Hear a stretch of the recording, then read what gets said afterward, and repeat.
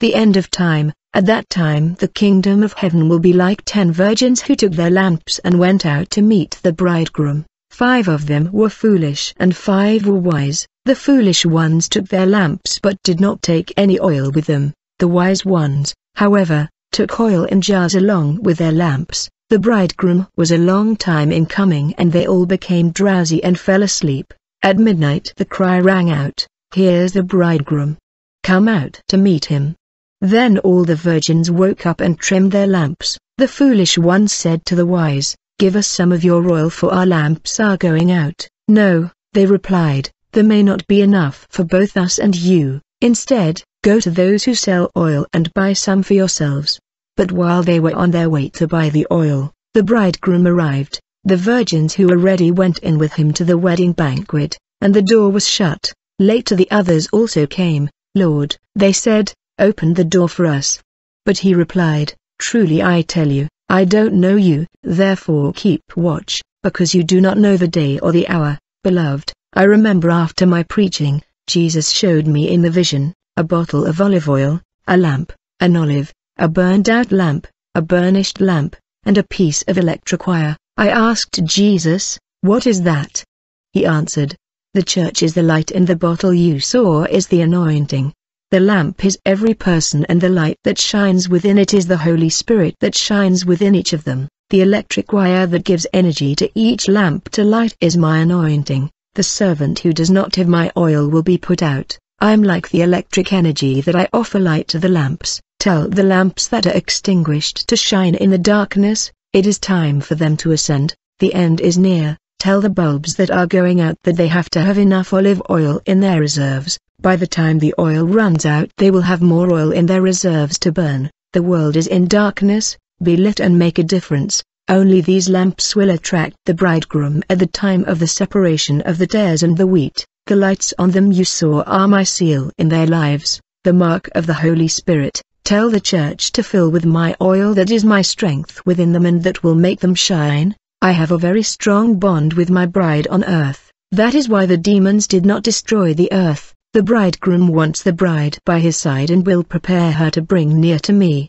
and make her heirs. It will not be long, the bridegroom will appear to free her whom he loves from this world of darkness. I have already demonstrated my love on the cross of Calvary, making a high price, rescuing, washing, purifying and sanctifying, the spirit of the Antichrist. I had a vision of a sword knight, in black armor, he was meeting in hell with the demons, the knight was empowered with the powers of darkness, his mission is to bring the greatest number of souls to hell and make life difficult for those who resist his authority. The Holy Spirit said, This warrior you see will declare war on the saints and will be the greatest spiritual warfare of all time. The sword that is in his hand means the word of the lie that will cause the spiritual death of his worshippers, and for those who do not prefer to follow Jesus, will cause physical death. In the vision, I saw when this knight was behind a spiritual wall and passed by entering our world, and when that happened he was no longer a knight, but a man.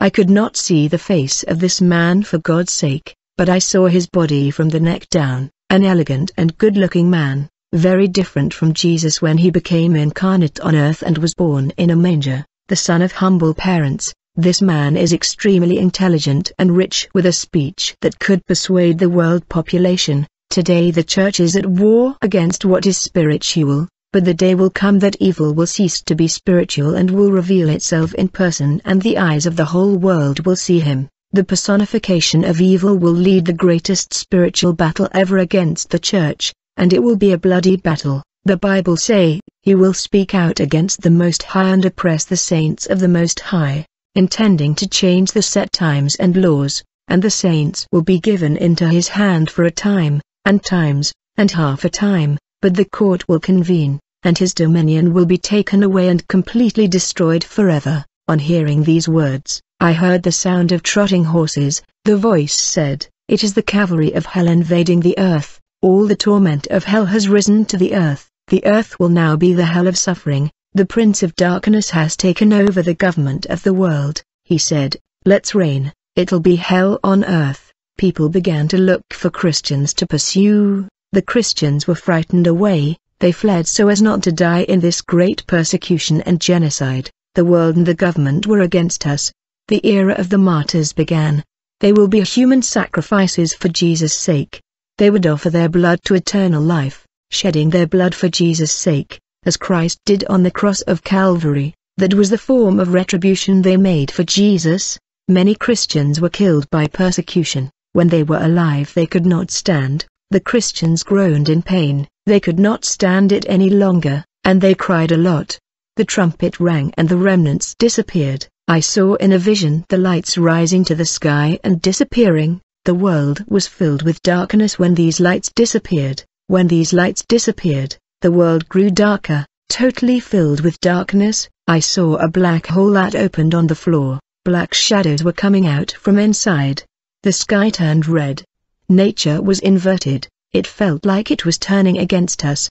The Bible say, pray that your flight will not occur in the winter or on the Sabbath, for at that time there will be great tribulation, unmatched from the beginning of the world until now, and never to be seen again. Those days had not been cut short, nobody would be saved, but for the sake of the elect, those days will be shortened. Then a voice said, The heaven is disconnected from the earth, there is no connection with humans anymore, all were abandoned, the Holy Spirit was taken away, the bond with the earth was cut off, what made the heaven to be connected with the earth? was the church while still on earth. Jesus took his own. People sought out Christians who had disappeared and despaired of not finding them. These people were dull lamps that stayed on the ground. Jesus broke the bond with them. The connection was broken. The mediator Holy Spirit was taken away.